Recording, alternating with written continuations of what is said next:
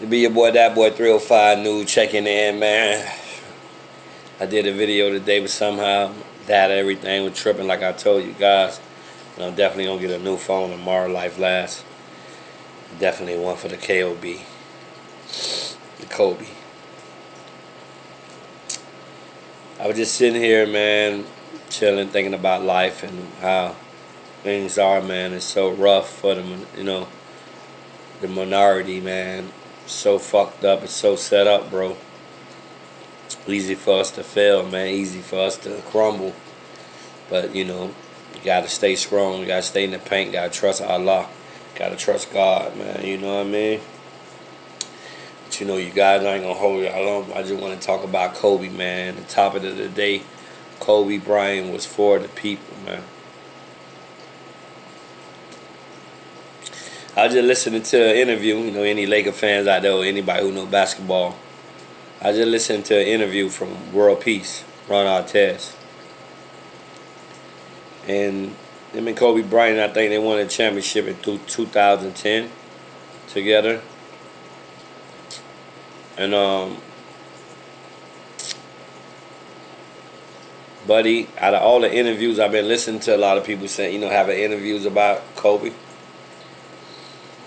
Here's the most sincere, and it was only 10 minutes, bro.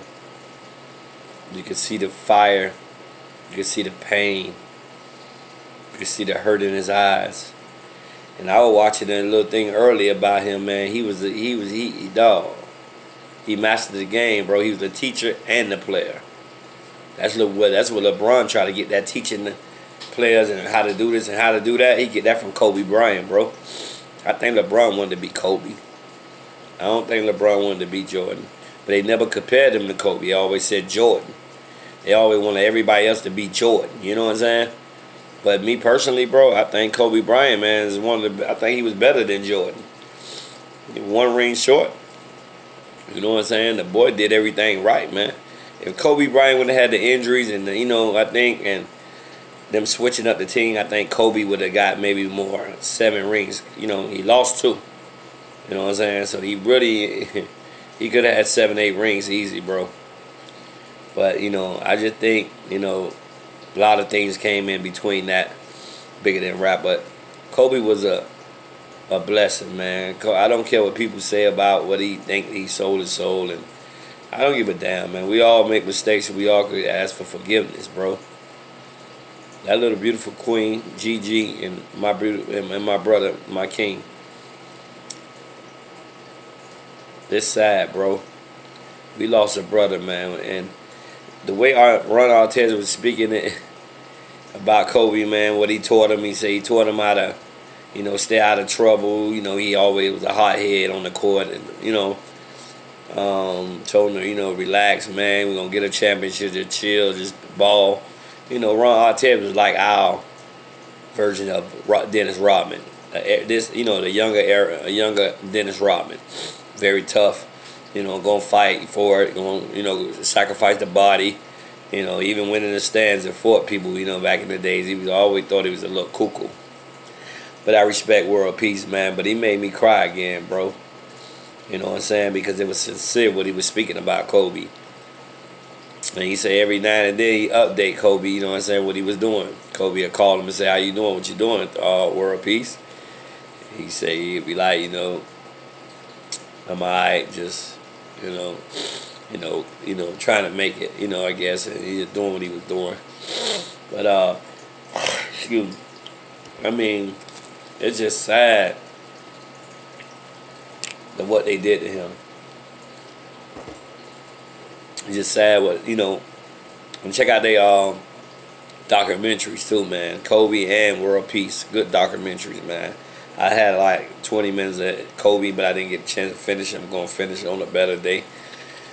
But I just wanted to say, man, you know, so many things happen in this world, and people don't want you to believe in conspiracies, and this world is full of conspiracies and things of that nature. Uh, but this celebrity here hurts just like Michael Jackson, bro, and Tupac. These are even Nipsey Hussle, bro. I mean, Nipsey was great too. But what Nipsey stood for, man, you gotta. I had to share a few tears for Nipsey too, man. Michael Jackson and Tupac. And I think Tupac got away. That's just my opinion.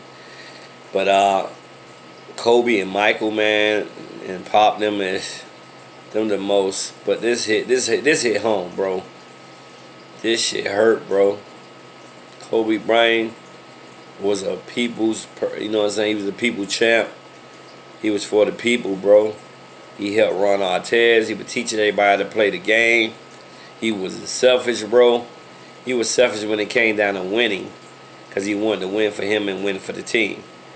But he was never, you know, selfish with people. He was kind of antisocial. I got to look up his sign. I forgot. I don't know his sign. But Kobe Bryant was a good guy, man. He was a people's champ, and he was a people's person. He loved it all colors. He was not racist. This is a guy that you could tell your kid about.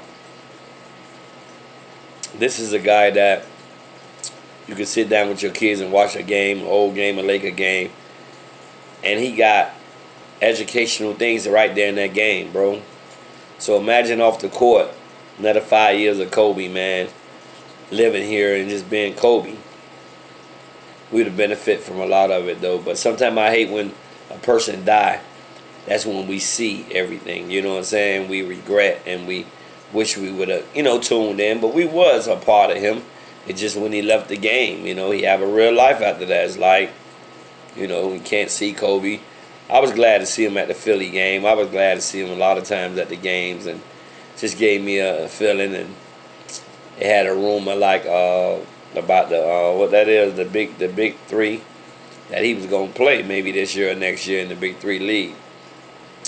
And I was like, boy, I can't wait for that one. And I know his daughter probably Gigi. God bless you, my, my, my queen, little queen. God bless you. I know she probably wanted him to, you know, daddy play, play, man. Daddy play, you know, the big three because he was away from the game for a while, and he said his daughter had just got him back into it about ten months now, man. And um, you know, real soldiers cry, man. But you know, I I I feel bad for my brother, man. He's a good guy, bro. It's just I want to just come back and say that you know Kobe was for the people, man. And just for him to get the standing ovation and the love and the flowers and the bouquet, just so many different things that is going on in front of that Staples Center, man. It's full of love, bro. Full of love. I just want to come back to you guys, man. It hurts me, bro, that I lost one of my idols. I love the Kobe as a player and a person. You know what I'm saying? I always seen that fire in that guy's eyes the way he played the game, man. I remember I lost some money against him uh, probably like maybe 10 years ago. How long he been retired? Yeah, I'd say about seven, eight years ago. I was on Miami Beach. I never forget South Beach. And I bet my friend got about 300, you know. He was all right with me. Not, you know, he was cool with me, though. But, you know, it was a gamble. And uh, I said, well, we got the game, boy. We got the game. And Kobe pulled up, man, from the three-point line, bro. You hear me? I'm talking about from yonder. Pulled up from the, I'm talking about the three-point, probably in the middle of the side, like a little bit of the, not the deep, like a quarter of the, you know, quarter of the middle. And, man, he took that shot. Dagger. He did like that. I said, he said, boy, let me get that money, boy. Da, da, da, da. I'm like, what, bro? He, he, he hit that. And I was like, whoa, you know, because I'm a diehard Heat fan, I was like, no, man, no. You know, I always will go with Kobe, but by that being my team, I didn't want to go against the grain. We had a great Dwyane Wade. Wow, bro, I'm talking about that guy was that guy, man. He lifted up, man, and faded away, man, and that shit went straight in bucket. I was like, that's that guy. I should never went against him. I should have just not never bet it. Just kept it as friendly. You know what I'm saying? Because who you don't want to go against your idol, a guy you like, you know, but you know it's your team. But you know you got Wade too. But Wade didn't have no nothing no you know Kobe at that time. Kobe is like you know always already in his prime. you know, the master of the game, man. Cause I won a lot of money off Kobe too, man. You know what I'm saying? I was incarcerated years ago. You know, when he first came in the league, man, I was young too, you know, and I just heard about Kobe being Bryant, man. I put the house on that guy, bro. You know. But I just wanted to come back and holler at you guys about that. Shout out to all my subscribers, man. My phone's working a little better, but I'm going to upgrade tomorrow. I need something with like 64 gigs so I can really get busy. Um, but excuse me, y'all, you know, shedding a little tears, man. But Ron Artest, man, he brought me back to crying, bro, because how he's, you know, he was sincere just a little while ago. I was checking it out. And what he said, he said Kobe was a teacher, man. He always teaching people and showing people the ropes and making it easy upon people, man.